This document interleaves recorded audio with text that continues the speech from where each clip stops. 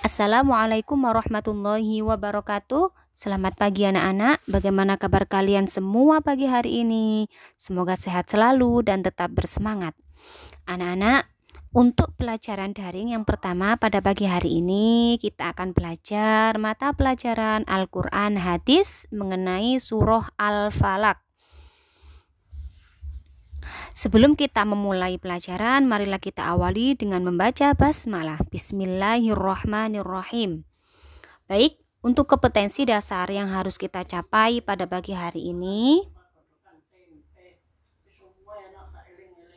3.2 memahami surah Al-Falak dan 4.2 melafalkan surah Al-Falak. Baik, kita langsung masuk pada materi surah Al-Falaq. Sebelumnya saya akan menjelaskan dulu kandungan dari surah Al-Falaq. Yang pertama, surah Al-Falaq itu artinya waktu subuh. Yang kedua, surah Al-Falaq terdiri dari lima ayat. Yang ketiga, surah Al-Falaq diturunkan di kota Mekah sehingga surah Al-Falaq itu digolongkan sebagai surah Makiyah. Yang keenam, maaf yang kelima, surah Al-Falaq itu dibaca sebelum tidur. Dan yang terakhir, dalam surah dalam Al-Qur'an surah Al-Falaq itu menempati urutan yang ke-113.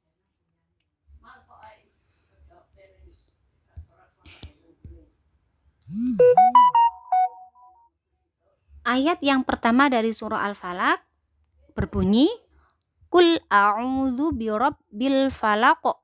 Perhatikan tulisannya yang artinya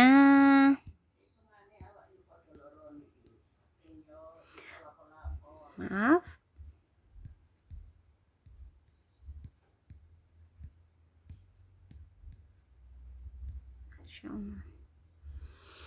Katakanlah aku berlindung kepada Tuhan yang menguasai subuh.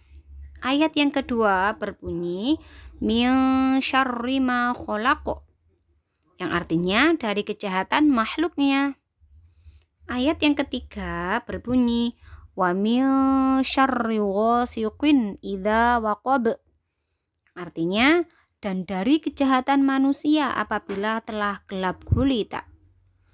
Ayat keempat wa min syarrin naffatsati fil 'uqad yang mempunyai arti dan dari kejahatan wanita-wanita tukang sihir yang mengembus pada buhul-buhul.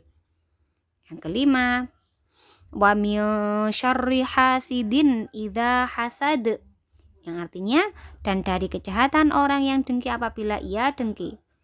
Baik, itu saja penjelasan dari Bu Guru mengenai surah Al-Fatihah.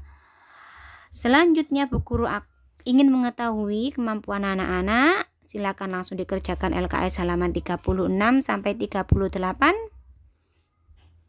Saya akhiri untuk pertemuan pagi hari ini dengan ucapan hamdalah alhamdulillahirabbil alamin wassalamualaikum warahmatullahi wabarakatuh.